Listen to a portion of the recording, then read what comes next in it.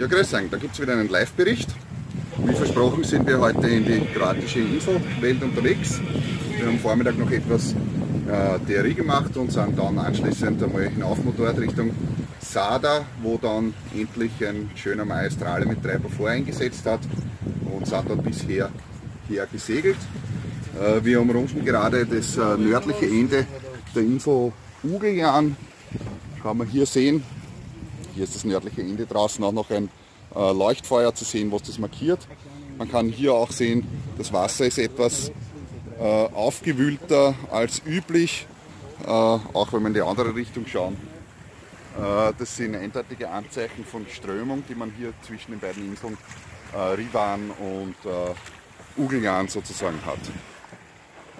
Jo, es gibt dann auch noch einen kurzen Bonustrack im Anschluss.